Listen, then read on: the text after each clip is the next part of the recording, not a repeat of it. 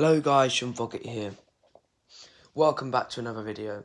And today we're going to be discussing Should Rafa Benitez be sacked by Everton?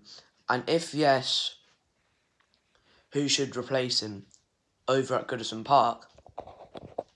Because Everton,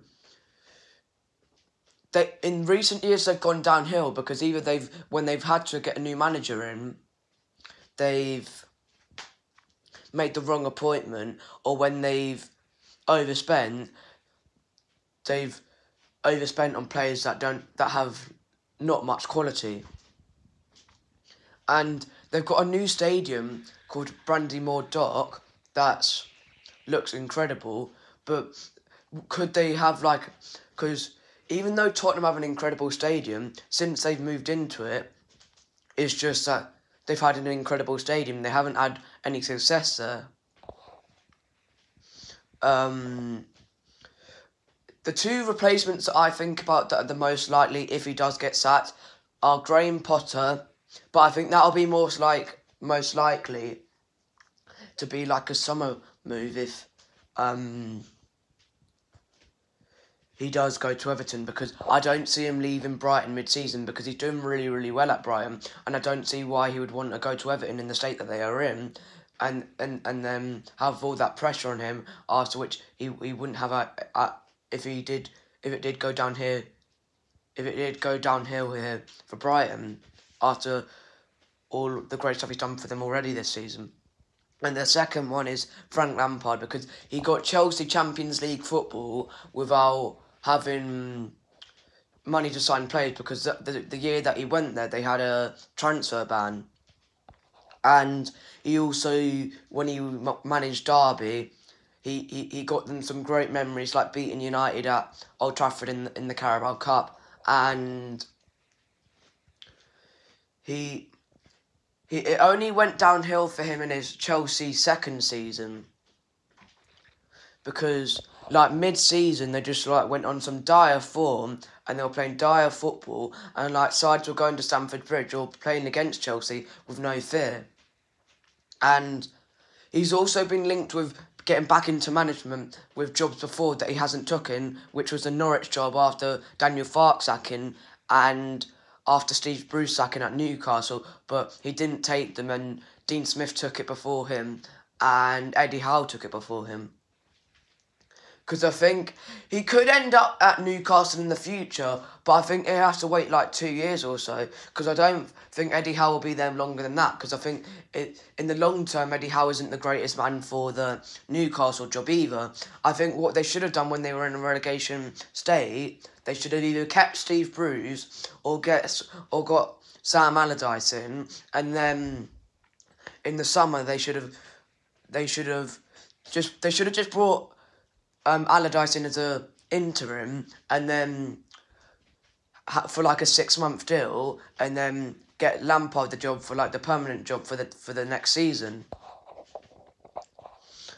I I the, the, there's two appointments that Everton need to avoid, and that's well three really. Well, well, let's not well the other one's not really an appointment. Is keeping Benitez.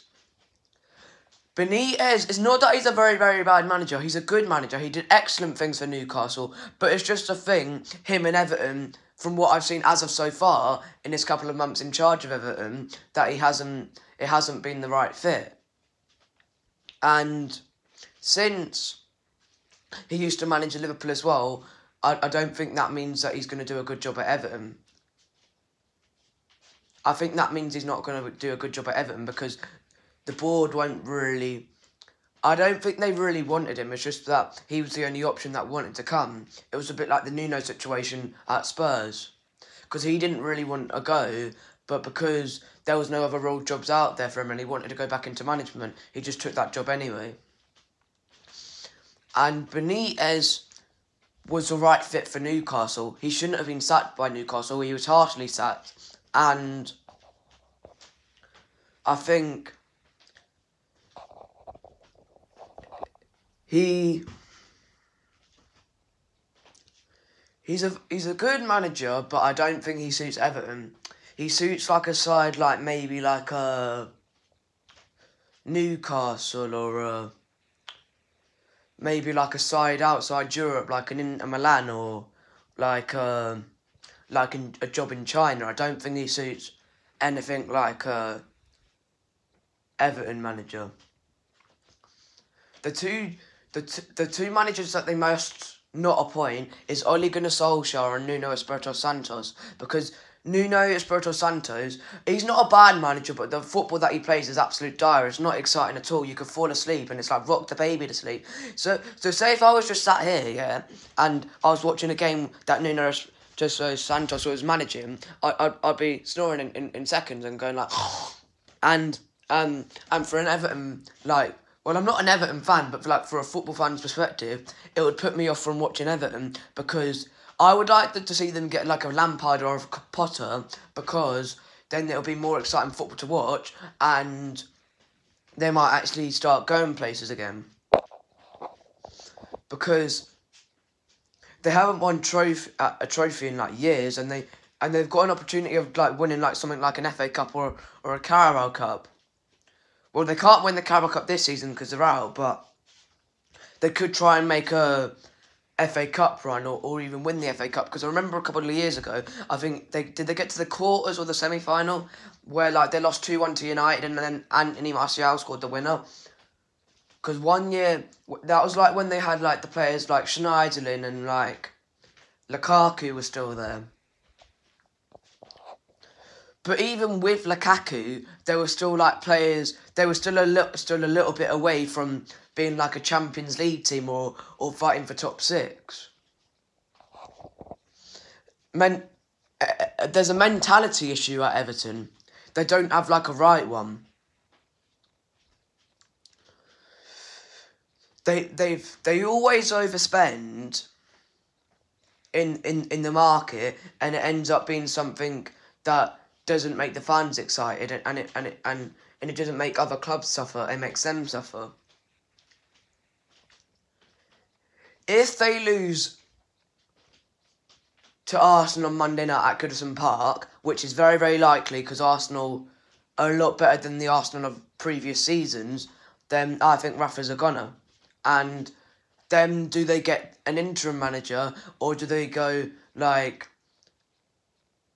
out of the blocks um, and get someone like permanently in in as a in in to replace Rafa Benitez. Thank you for watching this video. Like, share, subscribe, and I'll be doing my Premier League review show from these weekends fixtures and hope you enjoyed the video and God bless you all and enjoy the rest of your Sunday and I'll speak to you guys later and soon. Goodbye.